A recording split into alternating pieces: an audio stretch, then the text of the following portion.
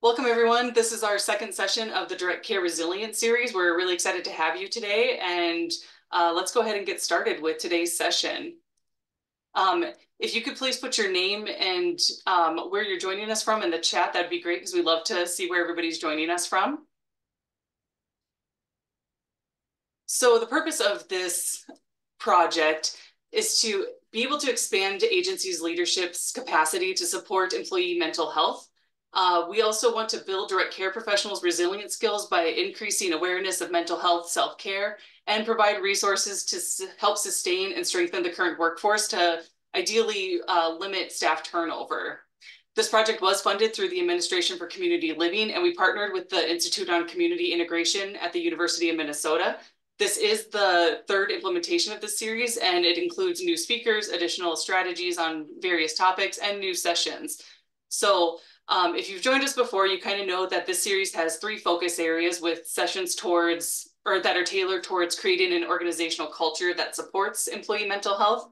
Um, we provide, some of the sessions provide supervisor strategies to mitigate and prevent employee uh, burnout, and also providing evidence-based coping strategies for stress management and building personal resilience. So before we begin, we really want to describe what an ECHO session is and what sets them apart from your typical uh, webinar trainings. In essence, ECHO allows us to move information and not people. It allows you, the participant, to actively learn about a topic and become a resource for your community. Each session, there's going to be a formal didactic portion on a designated topic, followed by a case presentation. Uh, the case presentation is an opportunity for participants to present a case of a real life scenario and get feedback and resources from our content specialists, as well as other participants. This is really an excellent opportunity to learn about resources and new ways to assist your employees and in turn, uh, the people that you support every single day. So we encourage you to take part in the case presentation discussions. Um, you can put your information or you can put your questions and suggestions in the Zoom chat or um, feel free to unmute. And also, if you want to present a case in the upcoming sessions, uh, reach out and we'll provide more information on how to make that happen. Your participation is really key to the success of our ECHO sessions. We really want to create an interactive community where presenters, stakeholders, and community members all support each other during a session. So we encourage you to turn on your camera during the case presentation, um, as long as you're comfortable doing so. And we appreciate when participants um, ask questions after the didactic and provide feedback for the case. These case narratives are the best way to solidify any skills that are learned in the didactics and receive direct advice. So feel free to upload your questions into the Zoom chat and we'll address them at the end of the presentation. So we do provide uh, professional development, social work, and nursing um, credits. To receive credit, we ask that you fill out the evaluation um, at the end of this session. And you can also access um, the content that's provided in the session through the iEcho platform at any point.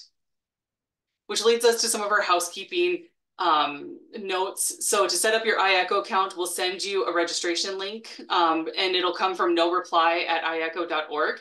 Please check your junk mail if you didn't receive this email prior to the session. Some participants have had uh, issues with organizational firewalls, so uh, please reach out directly to us and we'll help you troubleshoot any issues. And just want to note that iEcho is an essential tool for anyone participating in ECHO programs. It allows you to access uh, the content that's covered in the series in one place and it also helps you find other ECHO networks throughout the globe. So any topic that you're wanting more training on, you can search in iEcho for that. And um, typically they offer social work credits as well. So if you're interested in that, that's a great resource to find free professional development. All right, finally, we're gonna go on to introductions. I'm pleased to introduce our speakers, uh, Michelle uh, Williams and Beth Livingston. So we'll go ahead and pass it on over to you gals. Hello, thank you, Krista. We're very yes, excited we're... to be here. We're here together and also virtually, as you can see. Um, it's more fun to be interactive when we're in the same room. So we're looking forward to this presentation. Yes. Um, so Michelle and I are both uh, associate professors at the Tippie College of Business at the University of Iowa in the management entrepreneurship departments. And Michelle and I have worked in the same institution for a number of years now and have moved. Um, both of us have have relocated um, also from similar yes. place and so we've worked together for a lot and it's really uh, an honor and and will be exciting for us to present for you here today. Um, so as Krista noted kind of the general layout of what we're going to talk about in terms of you know we're, we're going to have a component where we kind of go through some slides and we we talk about um, the topic that we're here to talk about about connection and inclusion and building trusted relationships. And then and, and in the, the the process of that michelle is going to talk a little she's going to bring up a case and then we're going to return to that at the end and we'll open it back up to all of you all to share. Sound good? Okay. So with that let's do let me um, share my screen. We will make sure Awesome. We've seen the correct screen mm-hmm. all as well. Perfect. Great. And so, again, um, we're going to talk about creating cultures of inclusion and belonging and uh, cultivating trusting relationships. With that, and we're going to start with one of the core problems around well being. May is um, a month for mental health awareness and well-being and loneliness is one of the key problems that's come up um, in research that's increasing over time. So this graph shows that loneliness is a problem and it's increasing over time. Um, some people you know in the media have said oh it's a pandemic. Um, so it's not increasing at that rate but the importance of the increase um, really came to a head during the pandemic yeah. Um, so you can see here from a set of studies that loneliness increased during the pandemic. There were so many reasons for that. People being isolated at home, not being able to go into work. Um, and that change in work structure, interestingly, has not changed that much. People found that there are some benefits to being at home as well as um, the downside of loneliness. So, really, we're seeing a proliferation of hybrid work now. So, people um, are often working at home and sometimes in hybrid situations. And one of the most difficult things for uh, managers and caseworkers is to be able to um, maintain that culture and that connection when you're not seeing people in person and you're not seeing them as often importantly, you know, loneliness is not just something that we we're hearing about in the media that we've been talking about you know in, in terms of of you know articles concerned about people's connections we know that it has very real effects. And when you look at the research in terms of what the costs of loneliness are you can see um, that the lonely that, that reports of loneliness are significantly related to depressive symptoms. Um, so you see there a correlation of 0.50 that's about 25% uh, of shared variance between those two things. Um, and that relationship meaning the the connection between people feeling lonely and also reporting depressive symptoms have been growing growing stronger, stronger over time. And that is pre-pandemic, right? And so we see this is a that the connection between these perceptions of loneliness and depressive symptoms are strong. We also know that uh, people who report loneliness uh, also have a higher risk factor for all causes mortality, about 1.22 times. Again, this was pre-pandemic. And so, as Michelle noted, there have been some increases in these issues um, that were spurred on by the pandemic that sort of popped us up a little bit until we came back to our sort of normal trajectory or rate of change, um, which suggests that these risk factors may indeed be increasing as well. We also know, just in general, that people who report higher loneliness also tend to report more serious consequences um, related to their physical and their mental well-being. Um, we see related to physical health, um, to mental health sorts of, of outcomes. And uh, again, this is sort of represented in meta-analytic evidence, which is a sort of summary of everything we've known over time. Um, all of which is to say, uh, loneliness is a severe issue that has gotten more important and gotten more salient for people, particularly since the pandemic. Um, but it has always been related to very severe, serious physical and mental well being outcomes. And you can see this both in terms of your coworkers the subordinates you support and also clients yeah, yeah, yeah. have experiencing loneliness. Absolutely. Absolutely. Anytime you are in a, a client based or a customer based field, you're not only dealing with stakeholders related to your boss, your manager, your coworkers, um, but you're also dealing with other, you know, with people outside of your organization that are part of it in a stakeholder manner, which are customers, clients, um, patients, et cetera. Um, related to nice segue mm-hmm. michelle thank you um, that these issues of loneliness we, we spend a lot of our time at work right we spend a third of our time doing or at work uh, and what we find is that loneliness can be exacerbated by people's work experiences and we know that connections at work are important. Um, recent uh, survey research has suggested that one in 10 people report having zero friends at work right? If you ask them 10% of them like i don't i have no one uh, and that is uh, critically important um, because 70% of employees say that friends at work are crucial for their happiness not just their job satisfaction but their overall happiness and their their mental well-being. Um, we also know beyond just feeling better about yourself uh, strong work relationships these these connections at work result in more engaged employees that produce higher quality work. So it's not just, oh, you feel better. It's not, you know, I know there's a lot of, well, it's touchy feely, it's just the right thing to do, but it's also good business practice. When people feel disengaged from their coworkers, they also tend to feel disengaged from their work.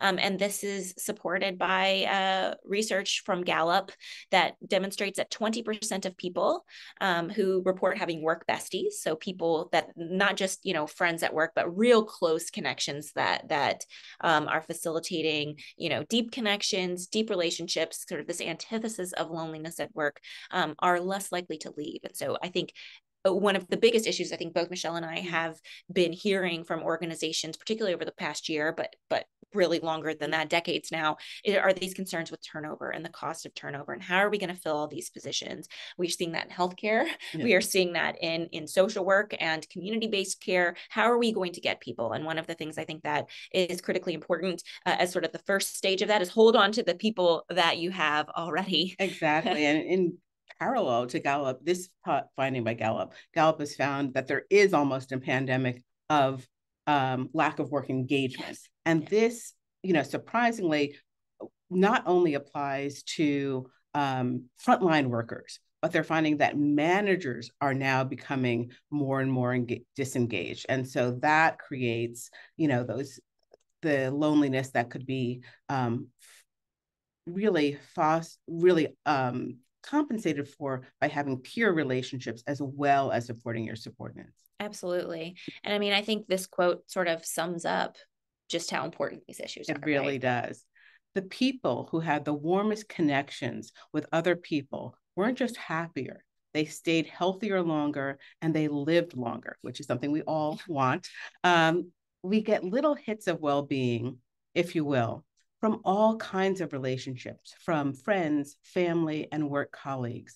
And the piece that this uh, quote doesn't mention, just hints at, is that we get small hits of well-being. So these interactions can be um, can be those momentary interactions with people, with service people. When you get when you go to the supermarket, when you go to um, get your coffee. So when we think about not only our supporters, but we think about clients, those types of interactions, when we can facilitate those types of interactions, we can facilitate their well-being.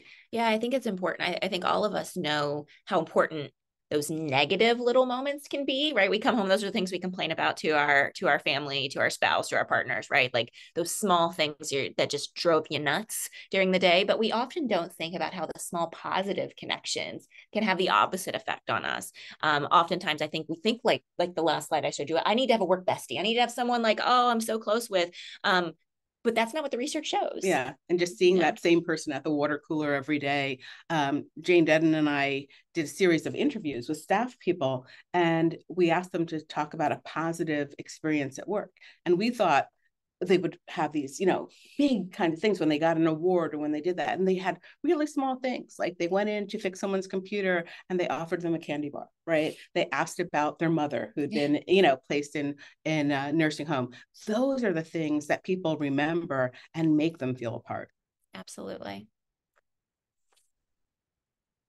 So while while we know that this is important, it is also hard. it is. 43% of employees believe that their company should be doing more to promote workplace connections. Um, and especially when we think about the pandemic and then the downturn in the economy for a lot of different fields. Uh, uh, tech, for instance, had overhired, that fo- companies aren't focusing or weren't focusing on those workplace, the workplace culture, and how do we have a culture where people feel connected. Um, the second point is employees who devoted time um, to fostering work friendships and report, report greater personal and professional growth. And so this again is a piece that says these relationships aren't just about being being personally happy and personal well-being, which is important, but they're also about learning and growth at work. And for things for industries like healthcare and like social work, a lot of growth is in connection. You're growing by interacting with people who have been in the field longer. You're growing kind of through almost reverse mentoring by people who are entering the field with new uh, with new strategies that you may not have got have gotten when you were at school. And so those connections, particularly across generations, yeah. are really important. Yeah. And I, and I think one of the things we hear companies say all the time is people, people, people, people matter. We're a family, right? Like you, I think all of us can hear those sort of those the, the, those statements and those sentiments but i think this research demonstrates that even if companies are saying that there are a lot of companies falling short of building that sort of culture exactly. where people truly feel that they've connected and truly feel that it is safe and supportive for for them to do that. And so this is going to lead us to the first time we're going to ask you all to feedback. I don't know if you all have used Mentimeter before. I hope that you have. If you haven't, well, welcome to Mentimeter. Um, Mentimeter is very easy. You do not have to sign up for anything. You can just go to menti.com. You see at the top there, M-E-N-T-I.com. You just click in that eight digit code and then you should be able to vote. And so you can do that on your device. If you have a phone, right, you can plug it in there. Um, and you can just keep that uh, window open and we'll ask a couple of questions throughout the day. And so the first question that we have. Can you hold on one second? Yeah. When you go to Mentimeter, menti.com, I'm just going to read you the code for oh, anyone who might perfect. be visually yes, impaired. Yes. The code number is 32944924. It's Great. Thank you. Yeah. Appreciate that. Um, so yeah, the, our first question here is, so Oh, which, oh, you keep oh, going. Wait. I'm just going to put the code yeah, in yeah, the yeah, chat. What do we think of these things as most important? Oh, yeah. Three, nine, four. So the code is now in the chat for anyone. Yeah. So if you were thinking of building a good relation work relationship, we talked about how difficult these things are. What do you think is most important? And I see these numbers rolling in, and you you've definitely people are identifying something that's close to my heart where I do a lot of research. So I'd have to agree with you. awesome. Great, great, great. And so you can see here, we're asking about trust, emotional closeness, honesty, caring, competence, right? And notice we're talking about work. I, I think sometimes when we talk about relationships, people kind of lump all relationships together, right? Like, what are you looking for in a spouse or a partner, or a friend, or what do you want your mom to do yeah. for you? Um, and it is important, I think, that you're seeing this. So let's go back to our slides. It's great. And we're going to come back to menti.com. So you can just leave that window open. And whenever we ask you a, a, um, well, I'm going to do this. Gotta love the technology. I know, I know. I'm trying. So um, we we went through this, and you all agreed that. What was kind of interesting about this is that there all of these things were important. So there are people who took who chose emotional closeness, honesty, caring, competence, and respect. But over 50% of you, half of you picked trust. Yeah. And so we're gonna they they talk a little bit more about segue. that. Yeah. yeah.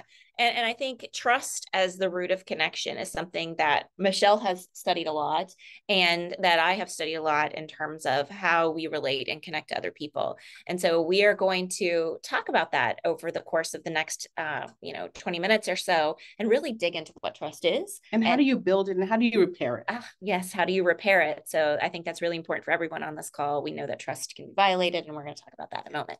To begin though, how long have we been talking about trust? So let's see.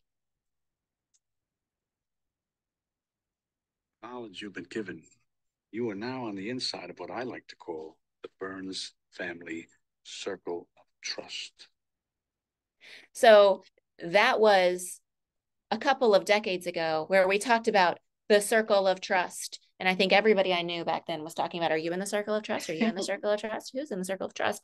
Um, just introduced this to my 12 year old daughter. And now she mm-hmm. thinks this is the most hilarious thing. And I'm like, okay, so apparently 12 is about the age where this stuff starts to become hilarious again.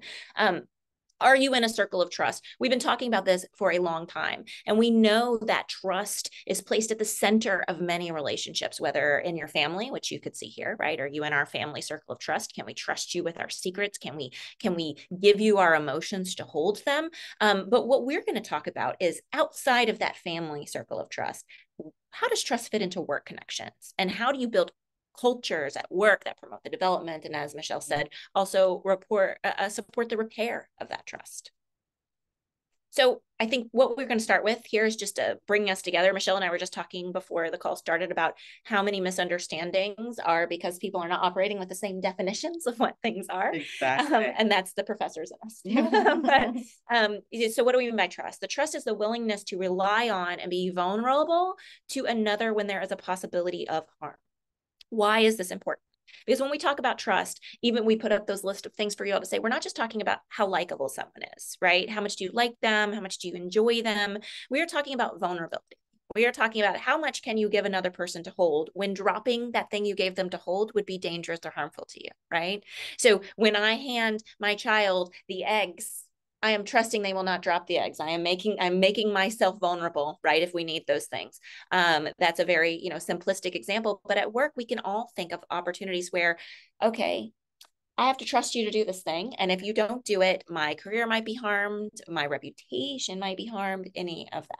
And the vulnerability, one thing that's key about this is that there has to be some risk of vulnerability, right? So if you hand someone a task and they do it because if they don't do it, they'll be fired, you don't trust them anymore than you did before yeah. because there's a consequence to it rather than the, you're allowing yourself to be vulnerable. And trust builds up with these small acts of vulnerability allow trust to build up over time. Absolutely. So and yeah, oh. Uh, yeah, we're just gonna we're gonna go and, and Michelle's gonna talk a little more, but I just wanted to say really quickly about that is, you know, I think a lot of times we think about trust as somebody else is trustworthy.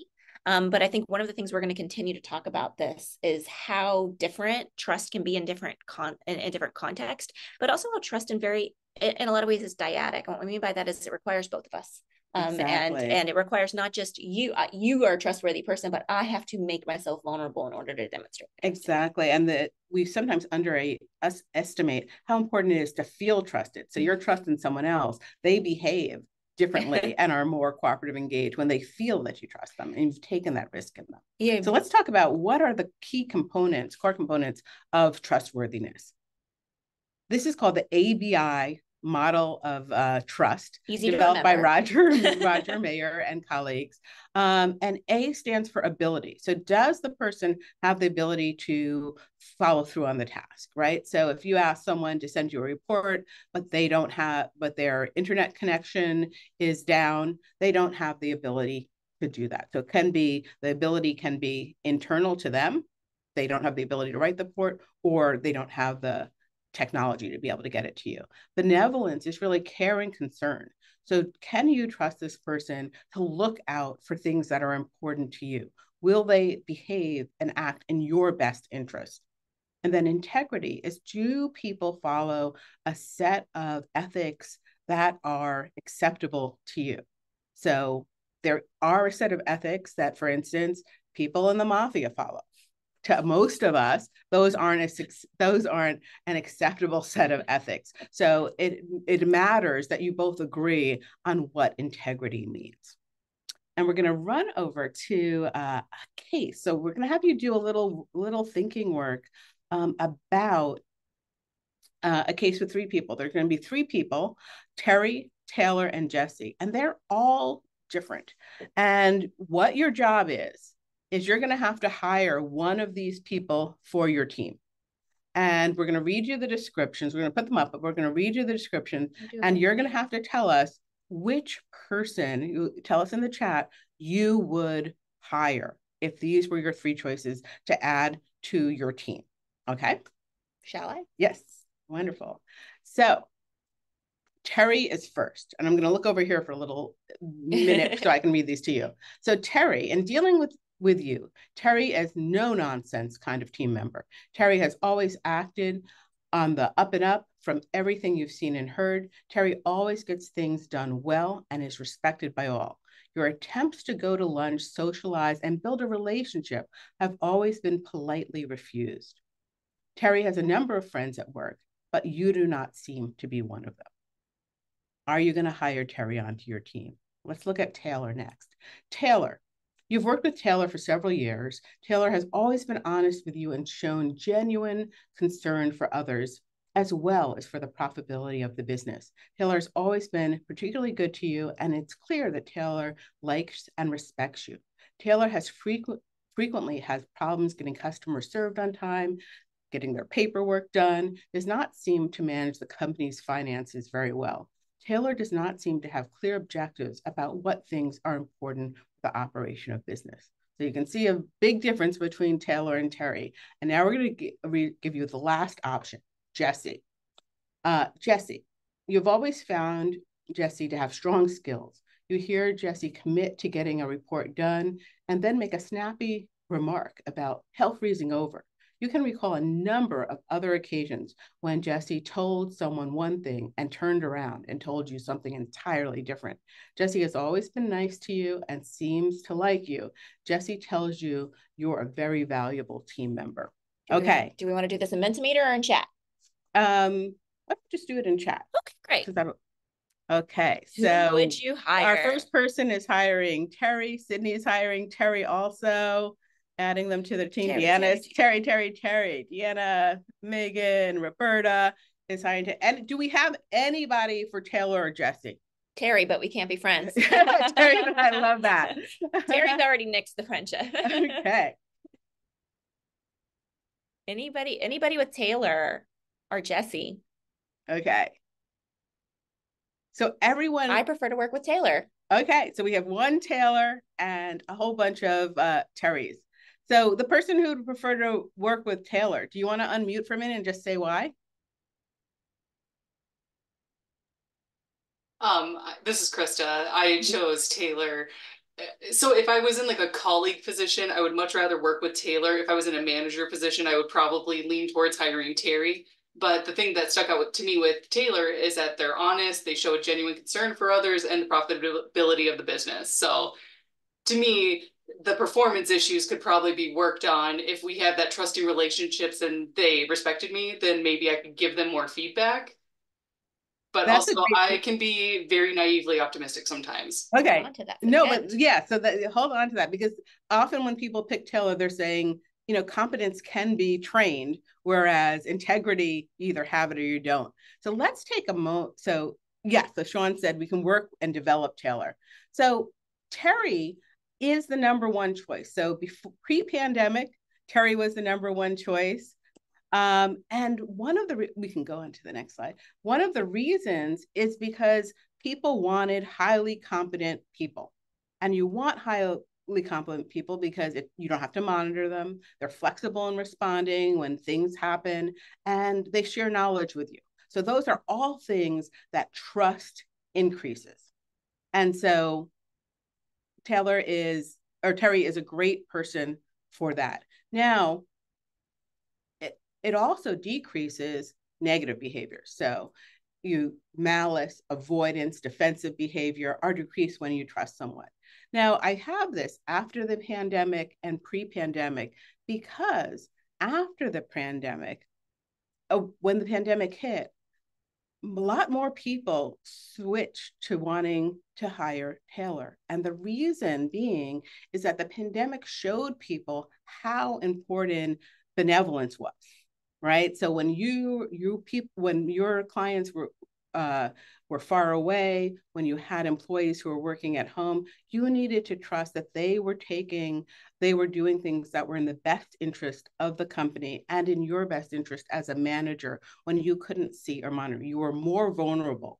And so that role of benevolence really picked up and then it dropped off again now that we're we're farther away from the pandemic but you can see the kinds of your the context of your organization may really matter if you're going through a merger if you're going through organizational change benevolence then um, kicks up again so let's move and talk about um, building trust across differences. And remember that case, we're going to come back to it and figure out what do we do? How can we intervene uh, in the uh, in, in, the case of Terry, as opposed to just avoiding him and and him or her and, and not, not, being friends. Being friends. just one option. Yes, and we will return to that again. Hold hold those three p hold particularly Taylor and Terry in your mind, and we'll mm-hmm. return to them for our case conversation at the end. And hopefully, everything we talk about between now and then can be tools in your toolbox to be able to respond to that case. So, one of the issues you have these three people, right, and you're thinking through trust as being, you know, ability based, it, it could be benevolence based, integrity based, is well, how do we build it? Right? How do we consider building this? And, and one of the things that uh, I've been doing in my own work is, is talking about uh, in our book, uh, a colleague of mine, uh, and we wrote on shared sisterhood, which was about building these sort of connections across racial, gender differences, religious differences, mm-hmm. socioeconomic status, um, you know, veteran status, disability status, all of these different issues.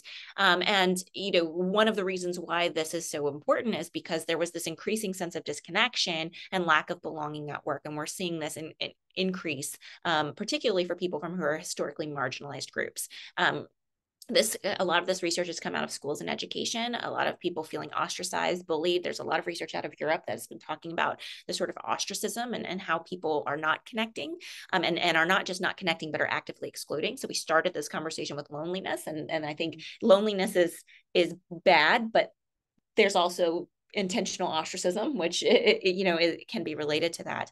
Um, often we talk about allyship behaviors positioned for this sort of vehicle that can improve belonging or inclusion across differences. Um, but one of the, I think the, the key things that we have, that's come out in our research is just how important this idea of connection is, and just how important, um, which I'll return to here, that that idea of trust is, and how we build it, and how we build that sort of vulnerability. And so this is an example of this in the research that we were building um, um, where we were talking about, I don't know why my Outlook is verifying. Okay, sorry about that. I had a thing, had an alert pop up. Um, one of the things that came out of our research that we did was that when we went into organizations and we looked at inclusive climates, and so one of the the biggest sort of cultural changes that managers would put into place is, well, we need to make our climate inclusive, which means, you know, people feel like the procedures are fair, fair people feel like they can bring their whole selves to work. Um, people feel like they, they are, you know, a part of the process. They're participating in this, they're included. Um, and when we talk to, this is an example, this is one of our graphs for Black women, but it was also uh, for different racial ethnic groups, including Hispanic and mixed race women that we talked to, um, that being in an inclusive climate was not enough to help them feel that they could trust their coworkers with their real emotions. And what I mean by that is, how are you today, Michelle? I'm fine, right? How's that project going? It's going great. Instead of I'm incredibly frustrated. A US based answer. That's right. right. Which is instead of you know what, I'm actually really frustrated with this component of it. And I'm going to hand a little of my emotion onto you so that you can help me process through it. Um, and that sort of component of connection that, again, requires trust because you're making yourself vulnerable. Um, and we find that that matters and that um, women, particularly from marginalized racial groups, when they worked really um, closely with other people, um, they those inclusive climates um, were not enough to make them feel like they were trusted. And so, what was? Right? So you might be saying, well, what was with that? Um, what we found was this idea of risk taking and vulnerability. We mentioned that trust is about vulnerability, um, and we put it front and center. We put trust front and center in this model of how people can connect. In order to establish trust, we show empathy, which um, Michelle's going to talk about here about perspective taking here in just a moment. You take risks to demonstrate right? I, I'm I, I'm going to share something vulnerable about myself so that you know that you can share something vulnerable with me, right? Um, and in that, in these small moments, these small moments, right? It's not like, oh, I'm going to just dump my entire life of vulnerability onto you, but let's let's share some moments. Let's establish trust in these small moments of vulnerability. And indeed, what we found, and particularly in marginalized groups, and we saw this um, look, you know, I, I have white and non-white groups here, which include Asian, Hispanic, um, and Black respondents in this group. Um, but we're also seeing this in other marginalized groups, marginalized religious groups, um, marginalized socioeconomic status groups, which I think are, are really important to, to note here in that when someone was put in a situation where they could take the less vulnerable route, right? Or they could be make themselves more vulnerable to career reprisals, right? What we found was that when a person took a risk and spoke up in a moment uh, of of you know conflict that they were seen as more trustworthy right when they showed that vulnerability they were seen as more trustworthy and thus not just oh i trust you but the dyadic okay yeah. i can share something with you i can share a little bit of who i really am with you and start to build those connections so one of the big uh, issues with trust is it can people think of it as taking years to build and seconds to break and forever to repair. um, but what we're going to talk about is a piece of the ability, benevolence, integrity model that's missing. And this piece helps us not only build trust, but helps us um, helps us repair trust. Because I, what I call I call this the myth of trustworthiness, right? Or the myth of trust that people believe that you have to, you can only trust people who always behave in a trustworthy ma- manner, right? And they believe that we have to be trustworthy every single second to be trusted by others. But in reality, I would say that's a myth. I would say everybody, including everyone on the call and Beth and I, are not trustworthy in the sense that we all fail to meet expectations sometime, right? We are human. And that, and so I would argue that trust is really built in how you react in those moments when you don't meet expectations or another person doesn't meet expectations. So that idea that Taylor can be trained, uh, you know, can have uh, feedback and can be mentored into being as competent as they need to be. And part of really using those moments to move forward is that piece of the ABI model that's really not there. And it's interpersonal understanding and empathy. So understanding where someone is coming from and in the sense that we are none of us are perfect allows us to connect in those vulnerable moments when someone hasn't met expectations and move forward for that from that in a way that builds stronger trust. So in terms of, so we want to think about this a model as a bo- broken bone healing stronger than it was before versus something that is torn and cannot be repaired. Yeah. The Humpty Dumpty egg. Yeah, situation. right. so I want to talk about a cognitive piece of empathy because this piece is most, uh, I think, effective in our work relationships, right? And that perspective taking is the cognitive process of imagining a situation from another person's point of view, imagining their thoughts, their feelings, and their appraisal, which means how is this impactful to them? So if we have someone who's a veteran and we have someone who's an elementary school teacher, a same event may impact them very differently based on their experiences. Now, perspective taking is so important is so important because it helps us improve communication. Why?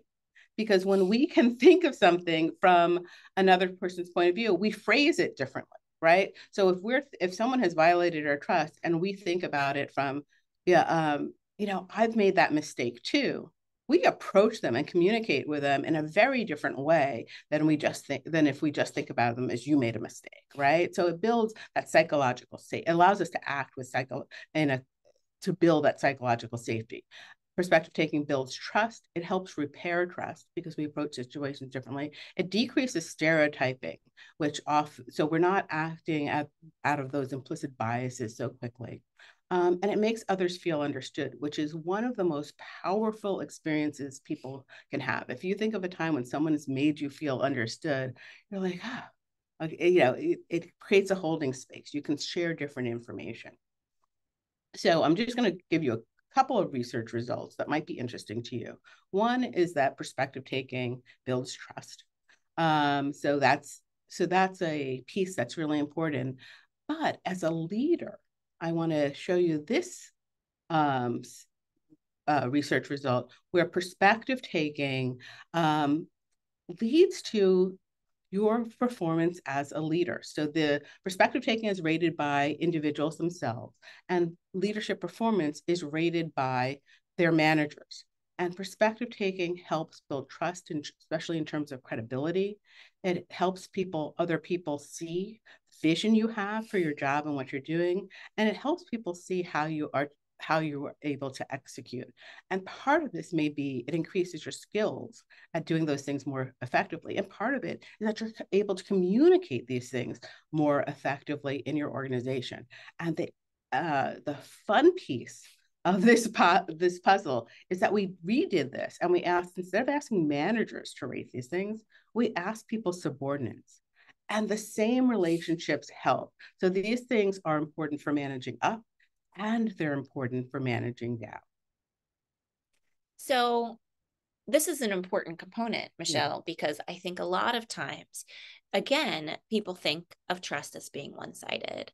Um, obviously, I think this this cartoon sort of speaks to something that we have both seen, which is a lot of times managers and organizations saying, oh, yes, we have such a positive work culture, but they don't actually trust their staff. Um, they don't actually trust that their staff has the ability to do things they're, they're going to do, and they don't actually trust the benevolence, yeah. right? That uh, you have my best interests at heart. I've seen this a lot in the growing sort of, Michelle mentioned remote work yeah. and hybrid work earlier. I can't tell you, I literally countless number of times I have spoken to high level managers who are like, yeah, we, we love our staff, they're great, we trust them. But when I break down, well, why don't you want them to have remote work options, it comes down to I don't believe they know how to do their job without me standing over them, watching them to do their job. Um, and again, what I like to reframe this as is well, let's talk about trust. Yeah.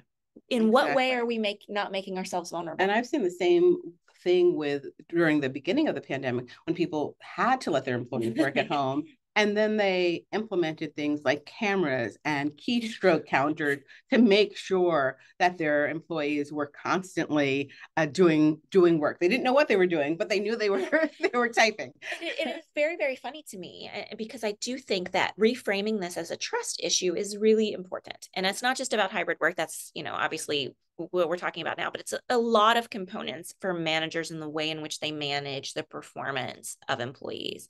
Um, because uh, when I talk to employees about this, they will almost always make it a trust issue. My manager doesn't trust me. Exactly. They don't trust that I know what I'm, that I'm doing. They don't trust that I know how to manage the situation. They don't trust that I right. They don't trust that I can learn. So they're not giving me these opportunities to learn.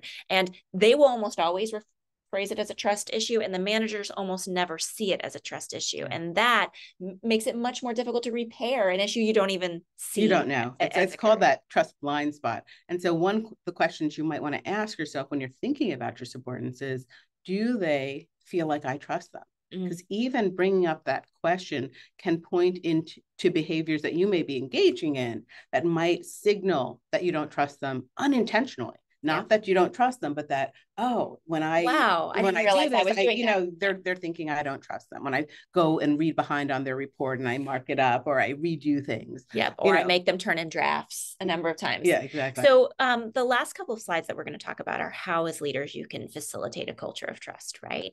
Um, so what can you do? And so what do we know from research are some options that you have in front of you. I mentioned inclusive climates earlier. Um, inclusive climates are incredibly uh, sort of low hanging fruit, um, kind of necessary but not sufficient, I think, in a lot of ways. Uh, and in and I, I, know we kind of talk about inclusion in a lot of different ways, but we're talking about inclusion across every bit of difference, across you went to Michigan and I went to, to Florida, right? That sort of difference, right? We're talking about all of these these things that might interfere with our ability to empathize or take perspectives. And so, what is an inclusive climate? Um, how do you make sure you have one? First of all, make sure your procedures, um, when particularly when it comes to hiring, performance management, and pay, are transparent and clear. Everyone knows what the procedure is, how you get promoted, how you get reassigned, what the grievance process is. Allow people to participate in decision making and that does not just mean the perfunctory i have to give you 21 days to comment. It means asking people what, what would work best in this situation.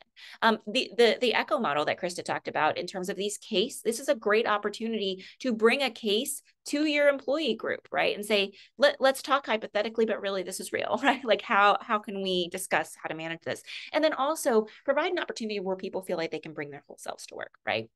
Their quirkiness their strangeness right? Yeah. they're the parts of them that make them unique and different. Why is that important? It's important because it is those unique components that make them have different perspectives yeah. and that can so make that value add perspective versus fit. Yeah that can make that can help make more innovative decisions can help see things that other people might not have seen right? Um, a, a, lot of times when you I, I, rely on my for instance my graduate students who come in and they have completely different perspectives than me. They they may not have they have different skills than i do but they're seeing things different and they teach me a lot because i am open to them bringing their whole selves to work in that way. So that's the first thing. Um, what's the next type of climate that you should be focusing on? And that's a psychological safety climate. Michelle you talked about psychological yeah. safety right? and that's really having that basis of trust so people can speak their mind they can make mistakes and it's seen as a learning experience. yeah you can you can take a, that you can take these risks you can try new things you can speak up questions you can say i don't know and you are not going to be penalized right? It is going to be seen as as an opportunity to learn and grow and not a penalty and exactly. And the original research from this was done in a hospital setting. And the researcher went in thinking that the more structured settings where people were immediately punished for making mistakes would be settings that were safer and what they found was when there was psychological safety and people were able to talk about near misses, that the rate of medical um, errors actually went down. And so it started this incredible field that's, you know, it's grown, it, grown since yeah. like 1997 that's looked at healthcare and education and the way that that psychologically safe and uh, climate actually gets you to the end goal that you want, which yeah. is high performance um, when it's counterintuitive and it, and it can be it can feel risky to let people have the space to fail right? Yeah. it's the the whole i'll just do it myself. It's faster for me to do it myself right? But then you're communicating i don't trust you. And then exactly. people tighten up right? We see this in sports. We see this in everything which is if i think you're expecting me to fail and i think that the stakes are so high then I t- then i get incredibly anxious when i'm trying something new. Yeah. and then i i don't it's a self-fulfilling prophecy in a lot of ways. I know you, you think i'm going to fail and, you have this prevention focus. so you try to prevent failure. So when you're going at a task trying to prevent failure versus trying to succeed and be, and it, it's a totally different orientation, and what Absolutely. you can achieve is different.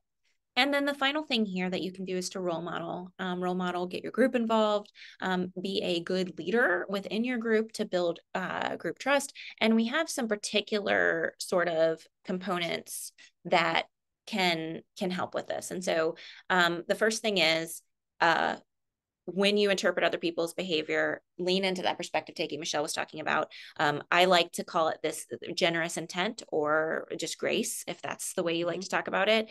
Um, what's the most generous interpretation you can give of what your colleague, your employee, your client is doing, right? What's the most generous interpretation of that? Often it's they didn't know. I should have taught you better. a bad day. Or they're right, yeah. oh yeah, I tell this with my with my I have a 12 year old daughter and and uh, Michelle we talk about our, our, our kids but a lot which is I always tell that she comes home complaining about something. I'm like well maybe they're just having a bad day. And she's like seriously mom? I'm like well you don't know. Maybe they're just having a bad day. Obviously there are patterns and you could yeah. talk about that um but the the most generous interpretation eh, that you can go with and I worked with a company where this was actually their organizational policy. It was a very small close knit mm. um, place and there was a lot of of high emotions that happened in this in this. It was a, a, a government organization actually a small like department within a government organization. And this was their policy, which was when a person would come into the manager to complain, the first thing to say is, generous intent, did you follow it? Which is what's the most generous interpretation of that? Period in the email as opposed to the exclamation point that you got, right? Like, were they really trying to undermine you? What's the most generous interpretation of that you can get? Do that first before you bring an issue to me. Oh, and, it, and it worked incredibly. And I can give an example that I had just recently. I was working with a colleague and they seemed to be a little bit absent and I hadn't said anything. And then they wrote in an email something kind of suggestive about what was going on. And I said, you know, I didn't know your significant other was ill and it turned out that they had been helping someone through a cancer diagnosis right and it had not and so knowing that everybody has things in their lives that are going on and that generous intent allows you to have a more open discussion and find out how you can support that person yeah. in a different way and then obviously here for later role modeling and perspective and taking an empathy, which Michelle talked about. And the final thing here uh, before we start to wrap up is uh, risk taking. Find out every, I think all of us feel like we have less power than we do. Um, and your positional power, um, we all have power in one way or another. And so figure out what power you have in your place in the world and what risks you can take to demonstrate that you trust someone take those calculated risks use them because again creating that climate of trust and that climate of, of psychological safety is so important and then michelle do you want to wrap us up with a couple of practice things? Yes. Yeah. so these are great things to do in practice. One of them is to record or journal about your interactions. If you're trying to build trust or build a culture of uh, inclusion and belonging journal the types of things that you're trying the small um, places where you're taking risks and what are the outcomes and how are people responding? Because sometimes when people when people respond the way you expect them that's great but when they respond a way that you don't expect them that gives you information about what their needs are what's going on and that's important for that journey you want to solicit uh, feedback from multiple people from people who are above you, for people who are below you, from clients. And that helps you find out what kind of culture you really have. Um, third is take other people's perspectives and know that when you take their perspective, you're likely to be wrong because people are bad at perspective taking, but we're good at listening and asking questions. So that taking their perspective is just the first step. And then we see how they respond. And that allows us to ask questions, to add, to really find out their perspective because people like feeling understood and they like uh, feeling that you have taken the time to care, to ask. So take their perspective and then stay curious um, and ask questions to really find out what their perspective is and how you can move that relationship. And then the last is practice generative listening. And this is that generous intent, right? Can you reflect and affirm what other people are saying in a way that puts them in the best possible light? Mm-hmm let that person rise to the occasion of who they could be in that interaction rather than bring them down to who to a negative assumption you could make about them and so the final thing we're going to say before we move to revisiting that case is we're going to have you re-enter Mentimeter here, right? And we are going to ask one thing that you feel you could do today to make your workplace more supportive for connections at work. And this is something that we like to do at the end of our of our presentations to say what is something you feel like you can walk away with, um, and then we'll transition for the for the last uh, you know 10 minutes or so to asking about Taylor and Terry again. Yes. Um, I will say one of the things I you know while while folks are typing in uh, what they feel like they could do to make things more supportive you know i i look at the the idea of listening and and things like that i think that is so important yeah. um and i think again we can all put these sort of plans together to think through what's what's good for our organizations and what we can do yeah. use generous intent ask better questions reach out to my staff weekly um, make time to build relationships with staff and actually listen um make sure I, these are wonderful and, yeah. and i want to, i see people using generous intent in multiple yeah. ways yeah. when they're teaching other people not jumping to conclusions when they're uh, you know when they and somebody said reach out to their staff at least weekly that's so important just for people to know you're there um, and i think sometimes as managers we don't want to bother people we don't want to suggest that we don't trust them but the way you reach out matters when you're just reaching yeah. out to connect. Um, I think our colleague Amy says, check up, don't check in. Or, or you know what I yeah. mean? Like yes, you're exactly. not like, where's the work? Where's the work? And and I think there was a wonderful comment in that Krista made in the chat about compassion fatigue. And I think um, as I move back to um, my other slides, I'll, I'll say, I think it is important that we recognize that, you know, this dyadic component of trust and connections means that yes, it feels like work to build connections with people but those fill your cup just as they fill other people's cup. And and the research suggests that those small positive moments those what we call these high quality connections these high mm-hmm. quality interactions absolutely do stave off some of that strong burnout right? Yeah those and i think sometimes it overwhelms us when you think about having to make a big move having to do something big for someone but when you think all yeah. you can do you know eh, when you think just saying hi to someone when they're walking by the water coolers or you know sending an email gee i haven't yep. you know heard from you in a while how's everything going little tiny little yep. small things are going to build that connection and make a difference so now we are going to just finish. we will put this back up again at the end. We're just going to finish the last few minutes by returning to our case. And we want to ask you, this is a time for you all to unmute. You can write in chat if that's more comfortable to you, but we want to return to Terry and Taylor. You want to start with Terry yeah, first? we're going to start yeah. with Terry. So Terry was the person who was on the up and up, um, always getting things done. Um, but your attempts to socialize, you know, really have been refused. So you might not feel that Terry is as benevolent or friendly as your other colleagues. What are some things you could do to build a relationship with someone like Terry? So I want you to take a moment to kind of get into that perspective taking moment. What are some of the things that might be obstacles to Terry and how much you approach the situation? And these could be direct approaches or indirect. And if you all want to unmute. If you want to raise your hand so we can just yeah, see that you want to um, unmute. We're just trying to get not everyone talking at the same time or put it in the in the chat and we can call call on you to tell us a little more about it.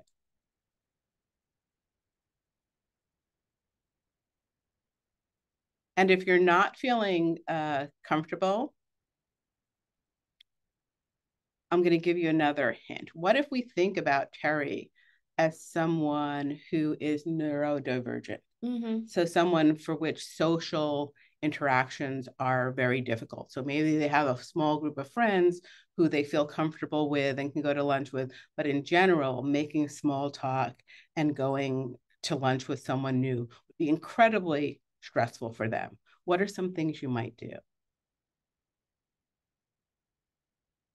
Krista. It's so funny because I was actually overwhelmed by how I would approach this until you brought in that extra context of he's not neurodivergent, because then I feel like I would actually approach it. I'd be more comfortable just respecting those boundaries. But yeah, if I was trying to, you know, actually get to know him, I would probably make it super weird. And people are starting to filter in here in the chat. Oh wow, we got a lot. Yeah, it's good. It's good. Yeah. So if people would continue to um, interact them with a, a friendly manner. Um, also, I've I worked with several neurodivergent people and just asked them, like, what would be comfortable? I know, you know, what would what would be a way that we could connect? And sometimes people will say, well, you know, I'd like to be on Zoom and I'd like to talk to you on Zoom, but I don't want to have my camera on. Or, you know, it's just certain uh, different types of or, uh, yeah, interactions. or just you know i'm i'm more comfortable one-on-one than than in larger groups right? Or i'm more comfortable with that. And i think there's some really good respect going on in the chat with all respect that they don't want to be you know a friend. Um, but i think also one of the things i think you did a clever job writing us up about terry because we can kind of let that word friend really cloud the fact that this is about connection and trust right? And that you don't have to be to have positive connections with people you don't have to be friends right? And what i mean by that is it doesn't have to be someone that you're like oh i'm gonna we're gonna have lunch all the time. I'm gonna share my life story with to have those positive micro connections with terry right? So i see a lot of i'm gonna continue to treat terry with respect. I'm gonna continue to be my normal friendly self. I'm not going to treat terry differently because terry doesn't you know doesn't say yes when i socialize right? What's the most generous way that we can interpret that um, about those boundaries? And again yeah. yeah. and those are so important because I think when we first present Terry, people are like, well, I'm just going to ignore Terry. I'm not going to interact with them. And this other perspective allows people to continue yeah. that interaction and connection. And building the perspective taking around well, Karen, look what Karen said. Yeah. Yeah. Friendly you can be friendly without. and let me tell friends, you, yeah. as someone who is super like extroverted and very high in agreeableness, this was a very hard lesson for me to learn, right? that I didn't need everybody to like me all the time, right? Um, or I didn't need to interpret them not wanting to socialize with me as them they not liking me right? And i think that is a really critical part. When we're in perspective taking we are putting ourselves in their shoes. And we are when we're using generous intent we're saying what's the most generous intention? Maybe terry is uncomfortable in these situations. Maybe you're interpreting terry's like terry might be like no i think beth is great. Like we're friends right? You don't know how terry is perceiving you in that way. And so you don't want to burden them with your particular potentially erroneous interpretation, interpretation. And these are things in terms of these are things you can actually talk about, yeah. right? I think a lot of times we think of these as difficult conversations and we avoid talking to someone um, about something that might be making you uncomfortable or what you want to know more about how they want to connect. Yes, absolutely. And Do we want to finish up? This one, yes. So let's put up Taylor because people have already put great things in the chat about Taylor. So Taylor is the one who's a little bit low performing, but really well intentioned. So if you just re, if you just put back the th- unmute or put back the things you had in the chat before about um, really giving that person more mentoring and different things that you could do to yeah, make that a Taylor, trusting relationship. To build a trusting yeah. relationship with Taylor.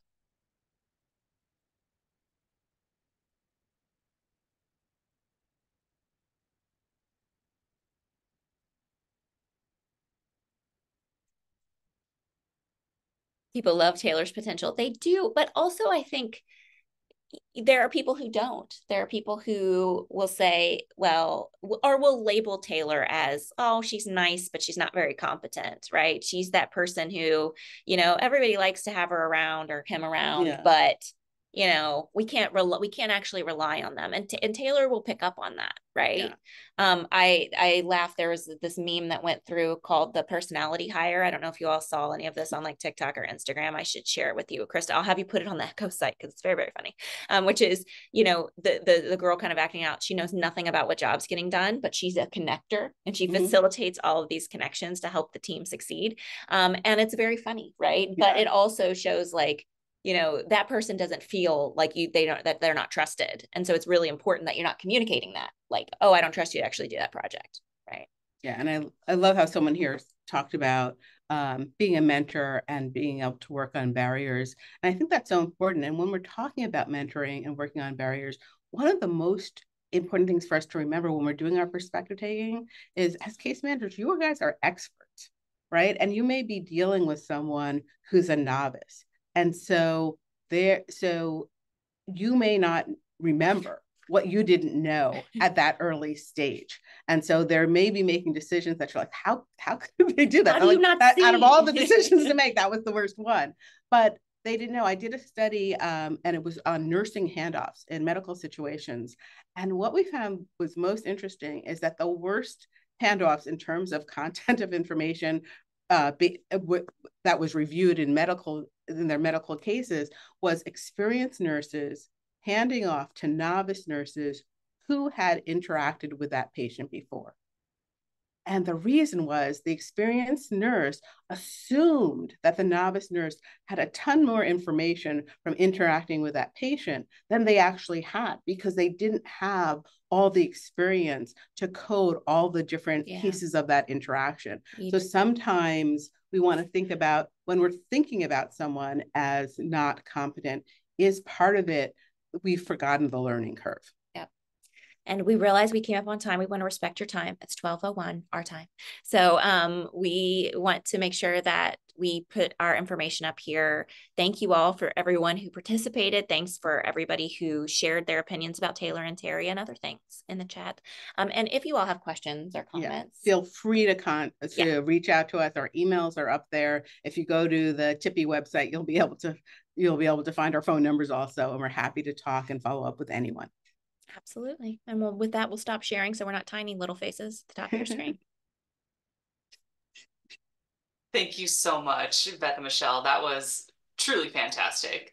Um, Kyle, could you put the link to the um, evaluation in the chat? So please take a moment to fill this out. Um, if you're wanting to receive credit, we do require that you fill out the evaluation, but also we really take all of your responses into consideration to make improvements to our series. So um, we greatly appreciate it. And it's great to share with our funders as well. So thank you guys so much. Like I said, fabulous, fabulous. Awesome. Thank you for inviting us. Third time I've listened wonderful. to it. Yeah, it's great. Yes. anytime, anytime we get to connect and show Exactly. our trust. Right, right, we're, we're like that. Thanks, everybody. Have a great rest of your day. Yes, take care, everyone, and hopefully we see you next week. Our next week's session is, I don't know, I gotta look it up. We'll send out information following up or following up. So we hope to see you guys next time and thanks again.